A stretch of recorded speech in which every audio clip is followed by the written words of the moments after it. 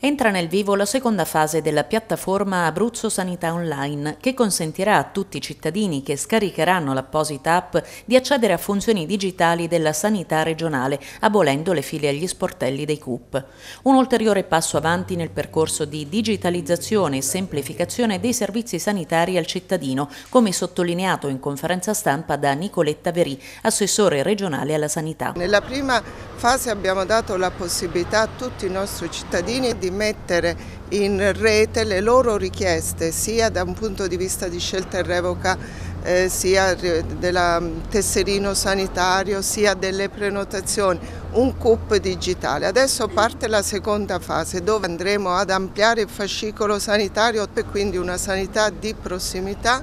e soprattutto dobbiamo mandare una informazione perché vedo che purtroppo anche presso i CUP nei distretti ci sono ancora delle file interminabili e quindi chiedo specialmente a voi della stampa di portare avanti questo tipo di informazione. L'applicazione alla quale si accede tramite SPID o carta d'identità digitale è scaricabile sul portale sanità.regione.abruzzo.it come spiega Camillo Odio, ingegnere del Dipartimento Sanità sanità della regione Abruzzo. L'app è funzionante ormai da diverso tempo, quasi un anno, anzi due. Eh, quello che è nuovo sono i servizi che abbiamo integrato. L'accesso è semplice, si scarica sullo smartphone, è accessibile anche dal PC e ci si registra attraverso SPID, quindi si è riconosciuti e da lì si possono prenotare prestazioni di specialistica, associare i propri figli con atto di delega o verificare le vaccinazioni effettuate nel tempo, spostare gli appuntamenti di screening screening. Alla conferenza stampa che si è svolta presso il Museo delle Genti d'Abruzzo di Pescara ha preso parte anche Marco Marsilio, presidente della regione Abruzzo. Questa app risolve il problema delle file al CUP ma non eh, i tempi di attesa perché manca ancora personale sanitario. Intanto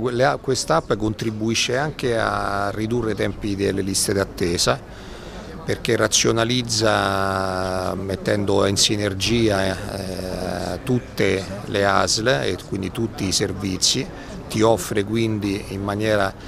più immediata, servizio più disponibile, mentre fino a quando i CUP erano gestiti a livello provinciale, ogni ASL aveva il suo, non dialogavano i sistemi, tu no, potevi non sapere che magari il servizio che in quell'ospedale ci metteva tre mesi o sei mesi o nove mesi per essere disponibile in, in, a pochi chilometri di distanza poteva essere disponibile prima. Aiuta anche ad evitare il fenomeno delle prenotazioni che poi non si rispettano e che occupano spazi eh, in maniera inefficace perché si può molto più facilmente poi comunicare la decisione magari di non fare più quell'analisi e quindi di permettere a qualcun altro di subentrare. Poi certo c'è il tema del personale che si sta affrontando in tutta Italia Italia con il supporto del governo, ci sono 3 miliardi in più